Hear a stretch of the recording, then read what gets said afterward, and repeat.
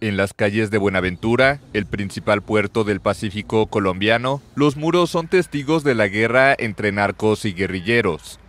Las marcas de disparos son visibles y también las siglas de los dos grupos en disputa, el ELN, la última guerrilla reconocida en el país, y las AGC o Autodefensas Gaitanistas de Colombia, como se autodenomina el Clan del Golfo.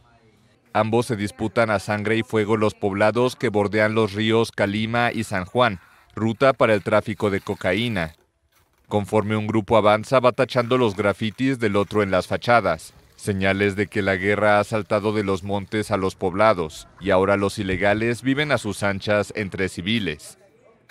Fenómeno reciente que antes no se veía es que estos grupos armados se asientan dentro de las comunidades, incluso camuflados y armados consiguen casas en el medio de la población, no tienen campamentos como antes y eso es un factor de vulnerabilidad que hace que algunos se desplacen. Cientos de habitantes han escapado de los pueblos ribereños huyendo de la violencia y hoy malviven en albergues de Buenaventura. Llegaron disparando, sacando a la gente de, de las casas, los niños. Fue algo triste, duro, porque dejar uno su territorio a venir a pasar necesidades acá es como bastante crítico. Entre los desplazados hay decenas de integrantes de la etnia Gunanonam.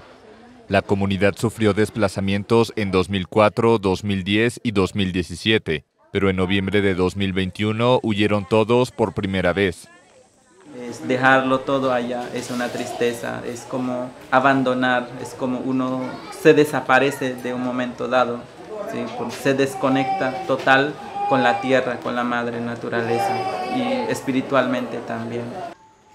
Pero en Buenaventura los desplazados tampoco están a salvo.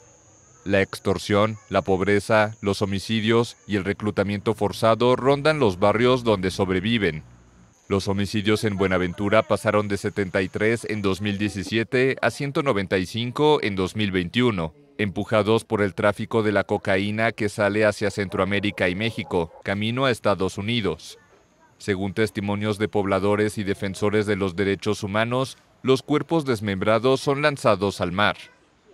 La gente sale del territorio porque necesita seguir existiendo y seguir existiendo lo que somos como comunidad.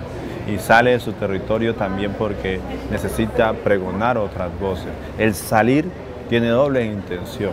Es salvaguardar la vida, pero también decir me salí y hay algo allá, generar una alerta.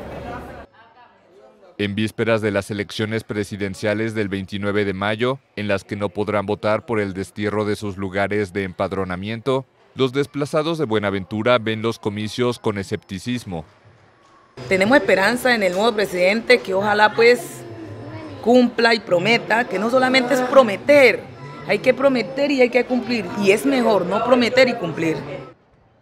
El clan replegó al ELN en Buenaventura por superioridad bélica. En el sur y oriente del área rural se expanden también disidencias de las FARC que rechazaron el acuerdo de paz. En el perímetro urbano combaten centenares de jóvenes repartidos en shotas y espartanos dos facciones enfrentadas de la organización de origen paramilitar La Local, mientras la guerra sigue vaciando los poblados del Pacífico colombiano.